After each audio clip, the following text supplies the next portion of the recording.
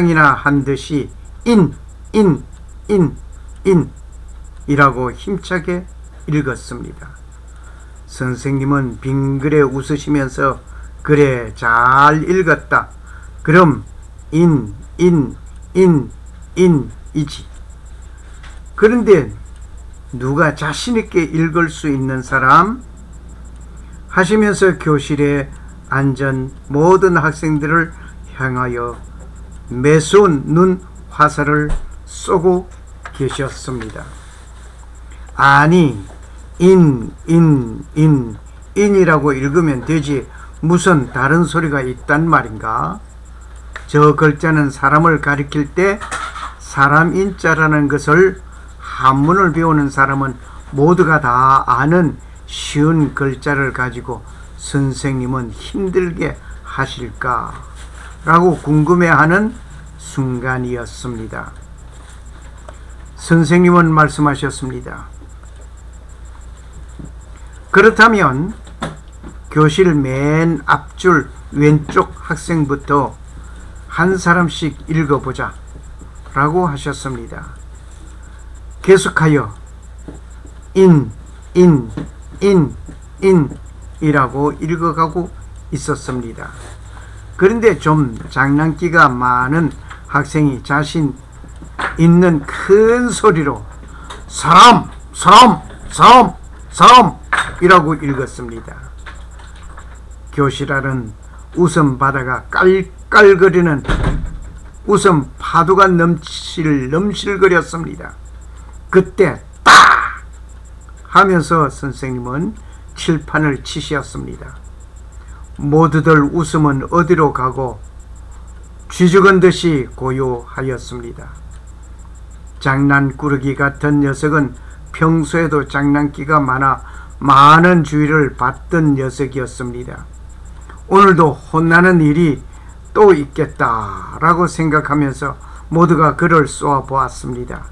역시 선생님도 멈추지 아니한 눈동자의 눈 화살이 날아가고 있었습니다.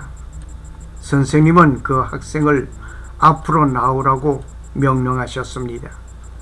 이제 단단히 혼이 나겠구나 하면서 수근수근 거리고 호출받은 학생은 고개를 숙이고 고요히 걸어서 칠판 앞으로 섰습니다. 선생님은 칠판 앞에 선 학생에게 말씀하셨습니다. 조금 전같이 칠판의 글자를 한자 한자 가르치면서 다시 읽어보아라 하셨습니다.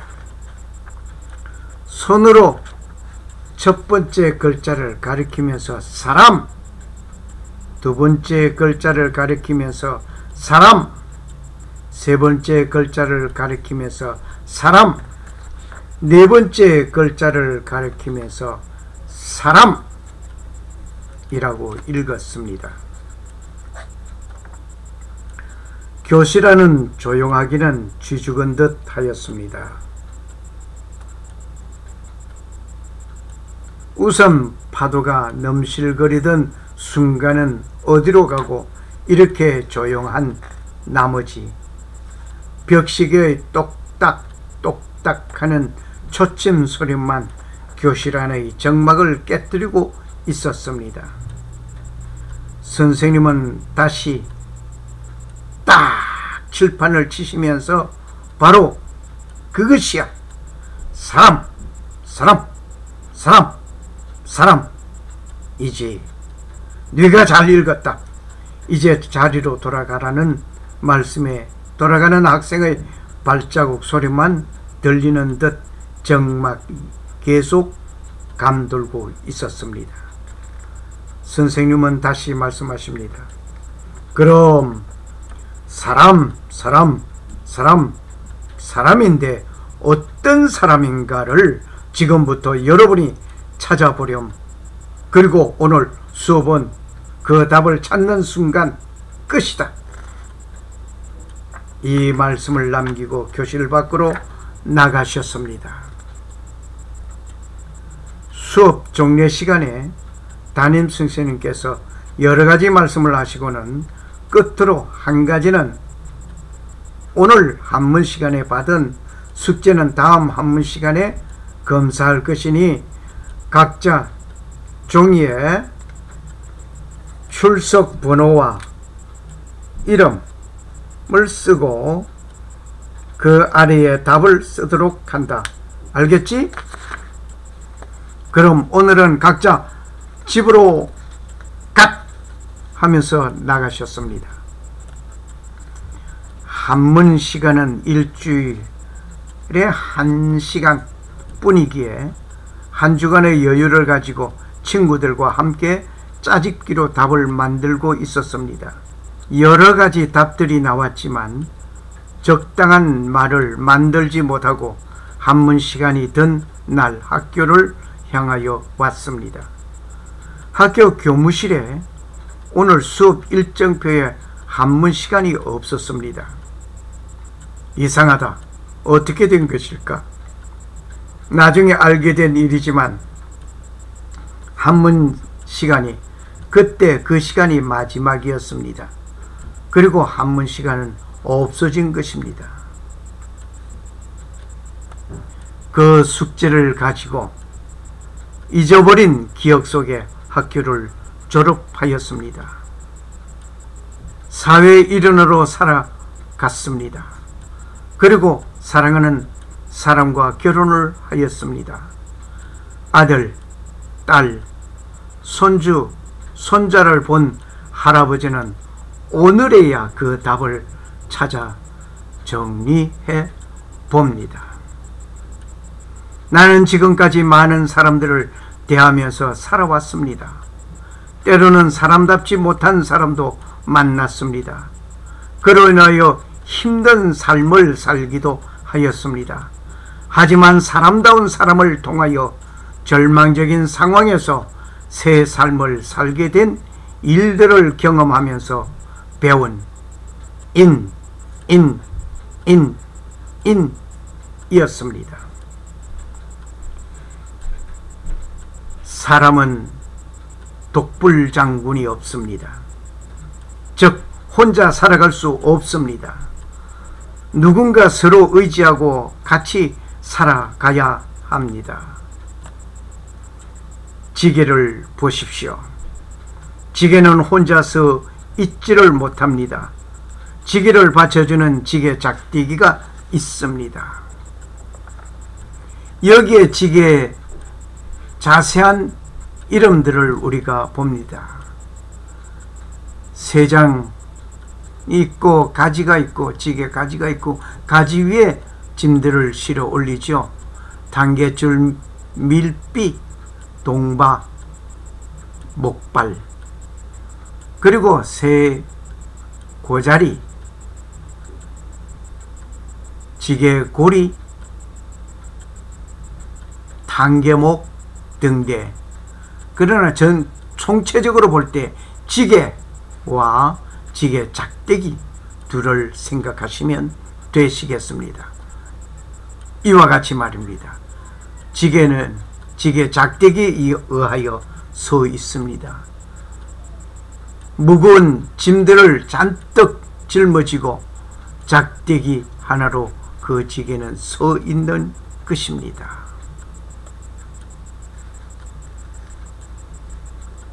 이와 같이 사람도 홀로 서서 살아가다가 힘들고 고통스러운 일이 있을 때 누군가 함께 하면서 서로 의지하면서 살아가라고 사람 인자가 그렇게 생겼습니다. 창조주는 아담이 독처하는 것이 좋지 못하니 내가 그를 위하여 돕는 배필을 지으리라. 창세기 2장 18절 말씀입니다. 창조주는 아담의 갈비뼈를 이용하여 하와를 만들어 주셨습니다. 돕는 자는 힘이 있는 자입니다. 약해 보이지만 힘이 있습니다. 지게 작대기는 지게보다 가늘고 힘이 없어 보이지만 지게에 집을 잔뜩 싣고 있는 것을 잘 받치고 있습니다. 창조주는 아담을 돕는 피를 지어 주셨습니다.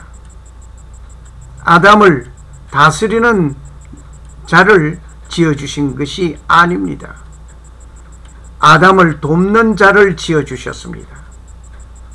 돕는 자가 잘 도우면 그 사람은 일어서는 것입니다. 한 가정에 돕는 자 배필이 잘 도우면 그 가정은 일어서는 것입니다. 힘이 들고 고달픈 삶을 통하여 쓰러지는 자를 도와 쓰러지지 아니하도록 받쳐주는 돕는 일을 하면서 살라고 창조주께서는 돕는 배필을 주신 것입니다. 돕는 배필은 하나면 됩니다. 지게작대기에는 하나만 필요한 것입니다. 창조 원리 안에서 살아가는 아름다운 가정이 되어야 하겠습니다. 이 창조 원리를 벗어나면 그렇게 살면 비극이 옵니다. 예를 들어 보면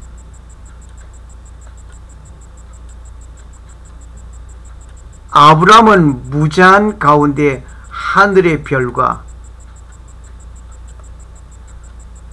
땅에 바다에 모래같이 많은 자손이 있을 것이라는 축복된 말씀 속에 사라의 몸종을 받아 낳은 아들 이스마엘이 있었습니다. 사라를 통하여 낳은 아들 이삭을 통하여 인류 역사에 큰 오점을 남기는 일이 있습니다. 이스마엘은 인본적인 생각에서 육체적으로 맺은 결과의 아들입니다. 이삭은 하나님께서 원하시는 사라를 통한 약속의 아들이었습니다. 이 두 사이에는 형제의 싸움이 인류의 종말을 초래할 것입니다. 그리고 종교 전쟁이 종말을 초래할 것입니다.